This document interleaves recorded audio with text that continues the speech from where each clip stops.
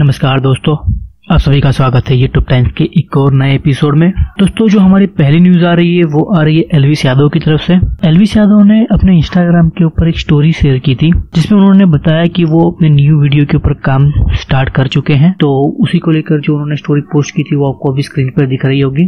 तो भाई, नई वीडियो बहुत जल्दी आ रही है, देख लो तुम। ये उसी की अभी लिखाई चल रही तो बहुत जल्दी कुछ टाइम में आप लोगों के सामने होगी, ये समझ लो, एक हफ़्ता दे दो मेरे को वीडियो आई, बहुत ज़बरदस्त लिख दी, और पिछली वाली जो आई थी उससे बढ़िया। और बहुत लोगों को कंफ्यूजन है कि भाई आपके मेन चैनल पे आएगी या फिर उसके लिए आएगी, क्या कहते हैं रोस्ट वाले रोस्ट भी आएगी बट पहले मेन चैनल उसके बाद एक और रोस्ट तो ये मेन चैनल की वीडियो है। दोस्तों, जो हमारी सेकेंड न्यूज़ आ रही है, वो आ रही है आशीष चंचलानी की तरफ़ से। दोस्तों, आशीष चंचलानी है। उनका जो न्यू वीडियो है, उसके ऊपर तीन मिलियन लाइक पूरे हो चुके हैं। जो उनके तीन मिलियन लाइक है, वो पहले वीडियो पे हुए हैं। तो जिसको लेकर उन्होंने इंस्टाग्राम के ऊपर एक स्टोरी शेयर की थी, जिसका अभी स्क्रीनशॉट आप स्क्रीन के ऊपर देख सकते हैं।